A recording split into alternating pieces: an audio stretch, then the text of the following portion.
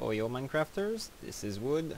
Thanks for joining me today on this beautiful afternoon. Sun has been set like this for 6900 seconds it seems. uh, today I have a tutorial for you, a repeater tutorial and we're gonna learn some basics and some more advanced stuff we can do with those. Uh, I wanted to do, get this tutorial out so when I do my 25 button wall pad tutorial everything is a little more clear because I had to go really deep into uh, how redstone work but let's get to it. First a repeater you craft it with tree stone not cobblestone it must be smooth stone two redstone torch and a redstone dust that gives you a redstone repeater. A repeater uh, acts like a torch except that it does not give power it only uh, transmit power. So if a repeater gets power it will transmit power. If it does not receive any power it will not uh, transmit power. And it acts like a torch as in it will send power to 15 redstone dust. And on a repeater you can set delays. Uh, when current travel to redstone torch uh, it takes two ticks I think. And these are actually a few uh, couple um, tenth of a second uh, two I think not sure but it takes some time to travel from torch to torch and you can set the same delay by right clicking the repeater uh, like this it acts like one torch, two torch, three torch and four torch.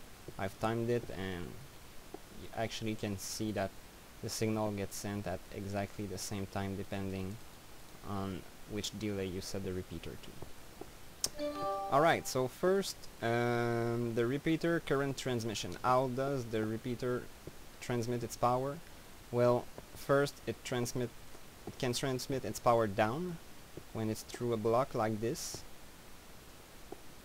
it can can transmit it uh, up through a block and in front of the block uh, but as you can see if you put a repeater up the repeater won't get powered only the dust from the side and you can put a repeater 2 on the side it will get powered and then the redstone torch current transmission, how the redstone torch works. This is even more basic, but we need to cover this. Um, redstone torch can transmit down, on the side, and in the front. And it can also transmit up through a block, like this, and then on the same level you can take your power out.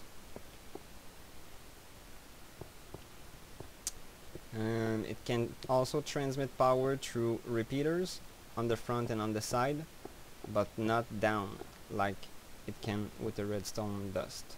The repeater down won't get powered. Alright, so now for optical illusions. Uh, this uh, only affects like how the wire looks and does not give any functionality. So in like in this case this dust is powered by this torch but it seems like it's connected to this torch too. But if I remove this torch this dust is off. So this torch does not affect this dust neither this dust even though it's straight like it's connected to it so this is just an optical illusion. Uh, unpowered dust like this that it's not connected to anything should look like this. It, it makes a, a cross sign. And here's another optical illusion uh, when you have a wire going into a block that's got a torch uh, and you got it straight on the block beside it your line coming from it it will look like it's turning to but it's actually not. You need to have a straight line going into the block so that power will actually transmit Now, current transmission through blocks.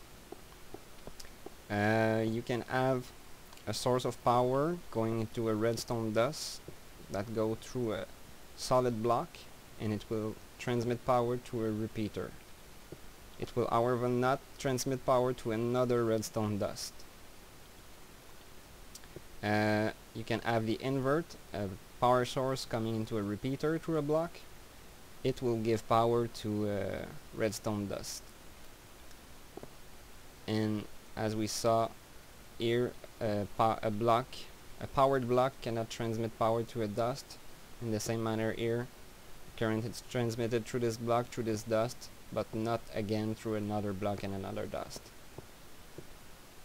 Um, here's the same another example, uh, power going to a block and the block powers the repeater after it. Here there's a matrix error, error 00110010. Okay, no, I can't say that. Uh, I'm gonna travel in time. Um, here's a kind of a bug. um, when you have a repeater and one line of dust coming into a block, uh, you think that this block would be powered, taking off this torch and still powering this repeater, but it inverts both. It's really a weird thing. If you remove this torch here, the block takes it, its power and power the repeater, but I think the thing is happening is that when you place the torch, uh, you get the line that change here, like it's connected to the torch, but as we saw in the optical illusion, it's not connected to the torch since it's uh, only one line long and it's like uh, arriving on the same level. So uh, I think it breaks actually the connection so the, the block is not powered and does not power the repeater and at the end because you see in this example it's the same exact thing but you have two dust and the power gets sent through the repeater is lit up and the torch is off and if you don't have a, repeat a repeater only one line will do the same thing now for repeater connection how will you actually wire the thing uh, repeater transmit power only in front of it and receive power only in the back of it. Lines on the side will not be affected by it. Uh, if you have to power multiple repeater or have to turn sections, a straight line from one another can do. Uh, you can have a straight line uh, that acts like a corner and you can have a longer line. You can just take it out from the first block all the way. Don't you don't need to uh, have the current going out like this. As soon as it's out like this, you can manipulate it as you want. And so the repeater like this uh, does not affect the other side, so you can have two line of two different power not interfering with each other. And with all we've learned so far, you can actually build a little setup like this, which is quite compact. It's three switches with three display that are all close together, no space between, and each lever control its independent light. There's no cross-talking uh, with the wire or anything. And also, repeater can act as clocks, but this is another matter. now I want to show you this finally I give you the Wilmiss Woods one-line multi-input signal splitter? Tell me if you like the name in the comment please. Um, so what we have here is actually one line of redstone dust with three switches connected to it. So every switch activate the line. But if you see the three torches at the back here, each switch activate its own light. So what I've done with this is use the fact that the signal can travel only 15 block from a redstone torch, uh, from a source of power. So the first switch this uh, no this one it, sing it signals stop here so I have a repeater here that sends the signal through its line to the output second switch the signal goes through the second uh, pair of uh, repeaters here and then its signal sent through its output and the same for the third the signal goes all the way through here and the output is there. Uh, the way I've managed to cut the signal as you can see when you have the number 2 switch activated the number 1 also is activated so the way I cut the signal from the line 1 when I have line 2 activated is with a piston and use the fact that the power can go through a block and remove this block of the way of the circuit. So I break the line for the output of line 1 with line 2 and this is achieved with uh, manipulating the delays. And like this the number 2 line got two repeaters so it's one torch two torch. So uh, if I want to close the first line before the first line gets its signal through it needs to be faster than uh, the first line needs to be longer than two torch. So I have two torch on this repeater alone and one other here so it's three. So it takes more time for the first line to activate and the second line is faster. So it will cut the first line first and then activates its output. And from the third line I have the same thing. Again manipulating the delays. This one I have one two. So we saw here that there was two also but there's also a repeater here that's connected to the output. And this is where the piston is connected to uh, this block.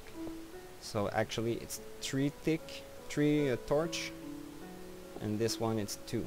So this one get activated first so it cuts the second line and the second line is activated before the first.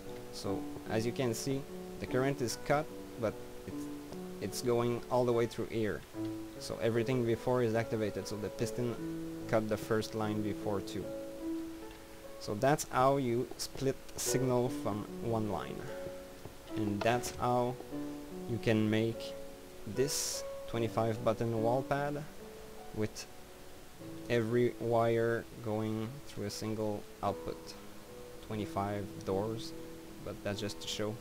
It's quite a big thing since it's 25 doors space 1 it's 50 large. So yeah I hope you liked my tutorial and as I said this is a preparation for this tutorial that is coming out my 25 button uh, wall pad. I've color coded it so it's gonna be easier to understand and with all I've uh, shown you uh, you should shouldn't have a problem to understand what I'm doing. So I hope you liked it. Please comment rate and subscribe and see you next time. Bye bye